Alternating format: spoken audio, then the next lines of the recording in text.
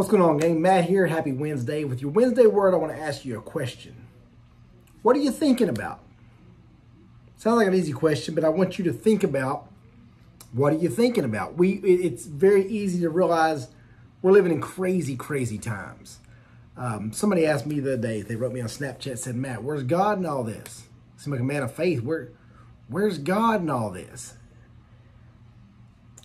And I was thinking, it's amazing how that is so much about perspective.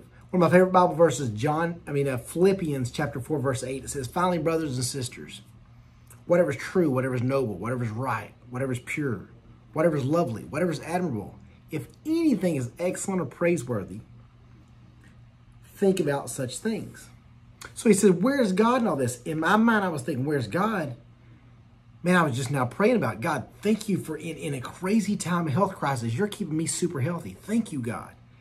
In a time when all churches should be shut down, you're giving us an amazing online church experience that we can still hear the word from multiple churches, hear tons of praise and worship songs from not just my church, so many other churches. Thank you, God. God, during this time, it allows me to be home with my kids more. We're doing online church with my kids. I'm learning Bible verses. I'm learning songs. I'm, I'm reading scripture and stuff with my kid. Thank you, God. So you say, Where's God? Look around. We, we want to put God in our box, and say, God, here's how our normal life is. Here's how we should be doing things. If it's outside of that, where are you? The Bible says his ways are higher than our ways.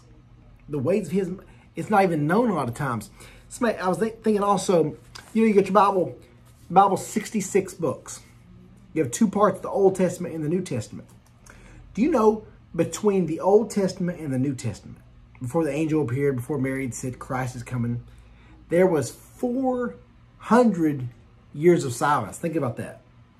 In this Bible, two sections, between the first section, the Old Testament, New Testament, 400 years of silence. It's God. He can do whatever he wants. Why did he do that? I don't know. But he did it 400 years. So the grandparents and the great-grandparents and the great-great-grandparents and the great-great-great-grandparents and so forth heard nothing from God. Before he created the world, he's speaking through prophets. He's parting seas. He's shutting the mouths of lions. He's killing giants. He's, uh, like I said, raising, raising, uh, turning fire, fire from heaven. He's raising the dead. He's spitting out men from fish. He's doing all these things in the Old Testament. And then 400 years of silence. And then boom, that angel appears and says, a Savior's coming, which we know obviously is Jesus. When you're thinking, where is God? And you start questioning things, always know the foundation of our faith is what has already happened. Yeah, we're having a great life now. Yeah, we're going to go to heaven. But all that stuff is because of what has already happened. That's the gospel. The gospel stands for good news. What already happened is Jesus Christ took your sin debt, my sin debt, and nailed it to that cross. And the Bible says our greatest work, our righteousness is like filthy rags to God. But God loved us so much, he didn't want to keep that separation. He sent Jesus to die in our place, a death you and I deserved on the cross.